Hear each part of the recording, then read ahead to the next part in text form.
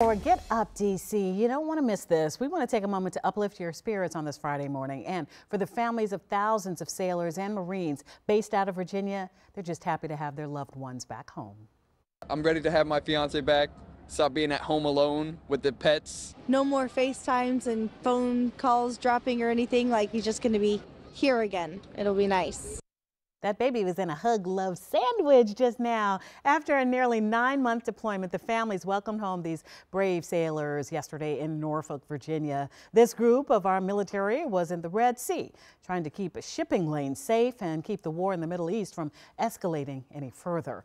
Certainly a big welcome home to the USS Bataan.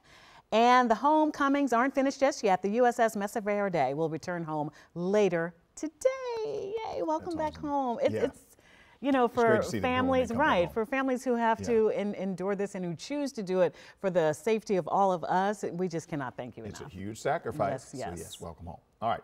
Still ahead of